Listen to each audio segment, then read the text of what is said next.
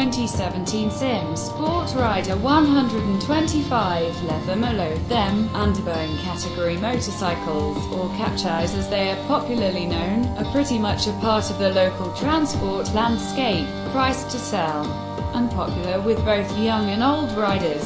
Kapchais are ubiquitous and will not be disappearing anytime soon. Sym Malaysia is proud of the fact that the design for the sports rider was developed from the Malaysian side, to be fleshed out by these Taiwanese engineers.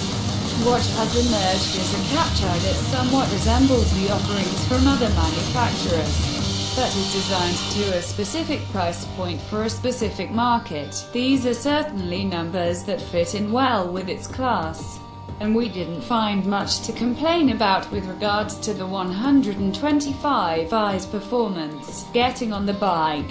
The low seat height of approximately 760 mm allows any rider to throw a leg over with no issues. Gear engagement was crisp, and we found the 125i's gearbox ratios much to our liking letting the bike accelerate smoothly and with no drama, reaching the top of the Sport Rider's performance envelope, however, showed a distinct vibration that began in the C.